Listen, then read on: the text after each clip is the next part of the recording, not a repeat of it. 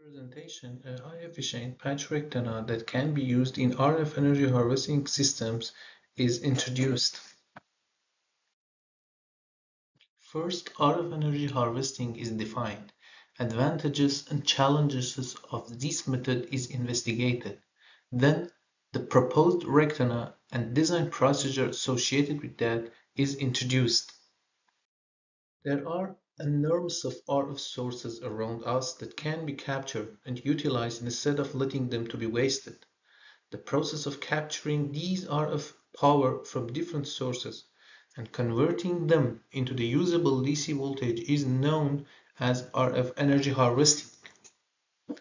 By using this method, there is no need to use battery to feed low power devices, such as different kinds of sensor and other IoT devices it can benefit the system since it brings lots of advantages to the system. It's cost effective and eco-friendly and there is no need to maintenance anymore. But there is a problem with this method, low power density of ambient RF signals that can affect the efficiency of the whole system. Power conversion efficiency is known as the most parameter of RF energy harvesters it will be investigated in the next slides. As you see in this figure, a RF energy harvester system consists of different sections. That starts with the receiving antenna. In order to convert the RF signals to the DC usable voltage at the output, a rectifier circuit is needed. But and combination of rectifier and antenna is called rectenna.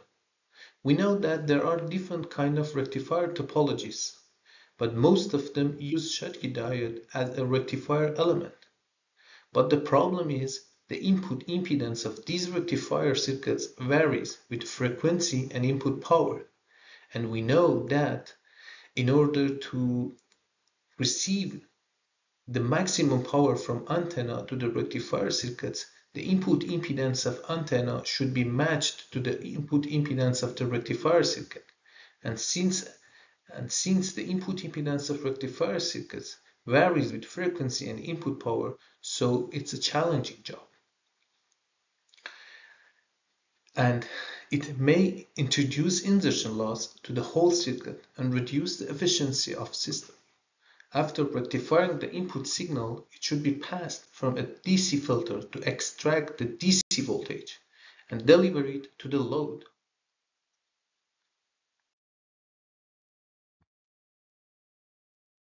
As mentioned, designing a matching network in this system is challenging since the input impedance of rectifier varies with different parameters.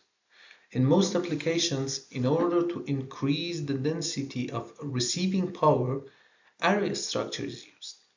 But they need a combining power network that add complexity and insertion loss to the design.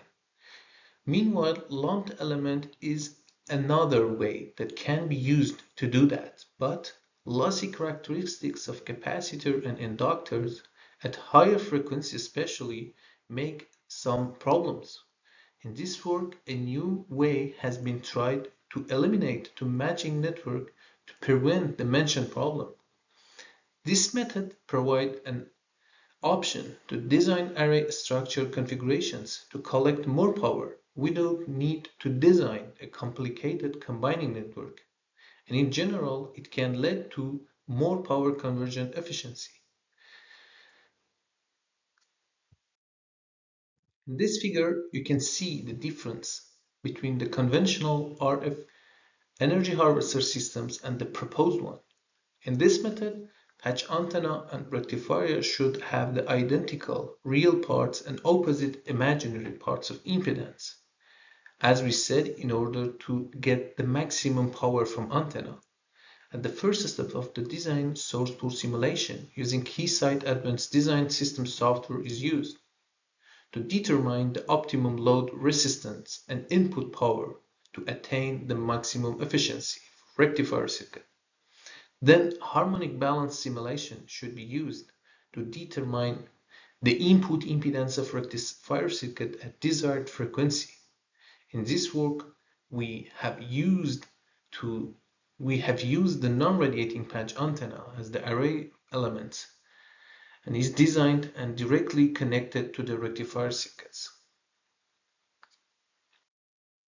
Non-radiating edge feed technique has been used for patch antenna because it gives an option to attain wide range of impedance with minimal impact on radiation efficiency.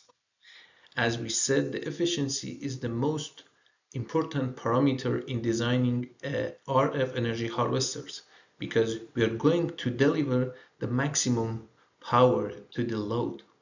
In this figure, you can see the configuration of array rectenna. Schottky diode SMS 7621 from Skyworks is used as a rectifier element. Its impedance is denoted by ZD and is obtained as you see and there is a real part and imaginary part. The imaginary part of Schottky diode impedance is capacitive.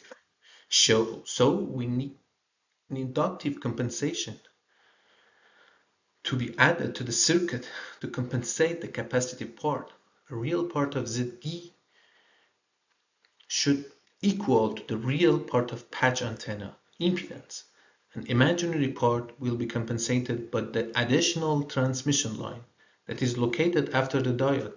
The length of this selection should be lambda over 8 since the shorted circuit transmission line with this length can create an inductive impedance.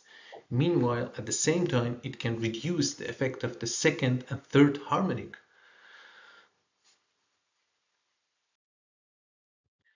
Real part and imaginary part of antenna input impedance can be adjusted by changing the feed point and the antenna width. As you can see in this figure, for the chosen dimension, for antenna, the real part is the same as the real part of the diode impedance and imaginary part is around minus 4 using the lambda 8 over lambda g over 8 microstrip line with a parallel resistor and capacitor that can act as a short circuit in desired frequency 2.45 GHz provides completely inductive impedance. The shown equation should be met to, the, to get the best matching performance. As mentioned, power conversion, power conversion efficiency is the most parameter of RF energy harvester systems, as it determines how much power is transferred from receiving antenna to the load. And as you can see here in this figure, it depends on load resistance, that by source port simulation 500 ohm has been chosen, and received power. For proposed work, maximum efficiency of 71.4 is achieved by adding by applying 5 dBm input power. And as you can see, for 0 dBm input power, efficiency is still more than 50%. At the, at the 5 dBm input power, 1.2 volt output voltage is obtained. And this amount for 0 dBm input power is around 0.5 volt. As illustrated, after the maximum power efficiency, it starts to decline. It comes from the diode's behavior when its exposure to the high power input. In this region, harmonic frequencies and intermodulation products appear and make a great contribution to decline the system efficiency dramatically.